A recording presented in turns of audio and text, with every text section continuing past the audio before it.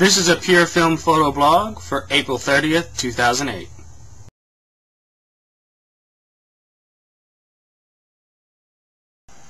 Hey guys, it's been about a week since my last vlog, so I thought I'd post an update and let you guys know what I've been up to. Uh, it's been a pretty busy week for me as far as YouTube is concerned. I am posting three videos, technically four. Um, I posted a video response to the uh, YouTube art contest that Jack Daniels posted. The link's in the sidebar if you want to go check that video out. Also, um, besides this vlog today, I am posting a, another video tomorrow that will be another collection of photographs set to music. This will be my flower photographs set to music. Starting next week, I am going to be adding a few more things to my vlog and in conjunction with my blog, um, every week now, I'm going to be doing an artist spotlight.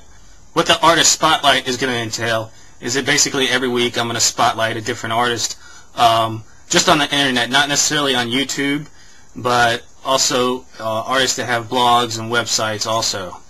Um, I'm going to do that in conjunction with my blog, so I'll have a quick review of that artist on my vlog here on YouTube, and then if you go visit my blog, I'll have a lot more information and and a rundown of what they do and who they are and where they're from, stuff like that. Also next week, I'm going to delve more into art news and what's going on in the art world, and I'll have I'll start posting more links to different art stories. As far as what kind of art news I'm going to be talking about, I'll have a very broad range of arts that I'll be talking about. Of course, I'll talk about the classic arts like painting and sculpture and what's going on at museums and galleries and what kind of exhibitions are going on both in the United States and around the world.